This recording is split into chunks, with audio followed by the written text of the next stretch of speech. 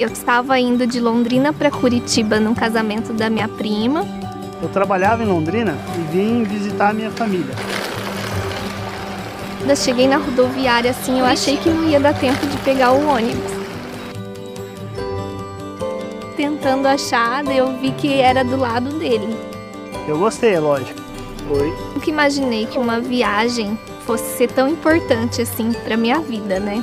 Quer saber como continua a nossa história? Nunca imaginei que uma viagem fosse ser tão importante assim para mim, para minha vida, né? Eu trabalhava em Londrina e vim visitar a minha família aqui em Curitiba. Tava indo de Londrina para Curitiba num casamento da minha prima. Cheguei cedo na rodoviária, tava lá tranquilo, entrei no ônibus. Eu lembro que eu comprei a passagem da Garcia e fui, tava meio atrasada, cheguei na rodoviária assim, eu achei que não ia dar tempo de pegar o ônibus. De repente vi que uma garota muito bonita entrou no ônibus, só que ela passou por mim.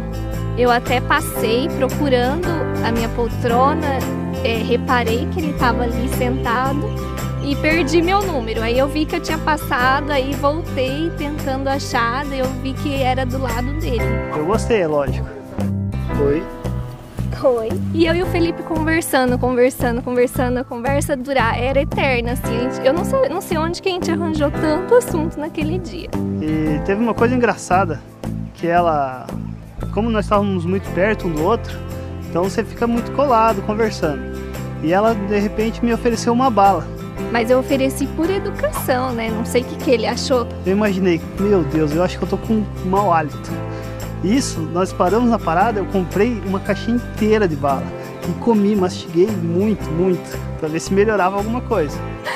Ele achou que de, de repente era alguma indireta, não sei. Eu cheguei, fui chegando mais perto, mais perto e acabei beijando ela. Melhor viagem da minha vida, né? Digamos. E depois daquela viagem, nós nunca ficamos mais longe um do outro.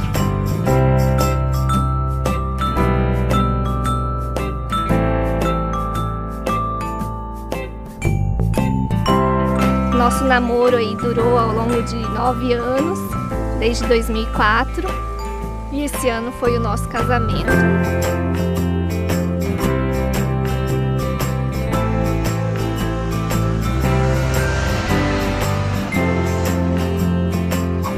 E a festa foi maravilhosa, né? Eu cheguei com o ônibus da Garcia, surpreendeu todos os convidados.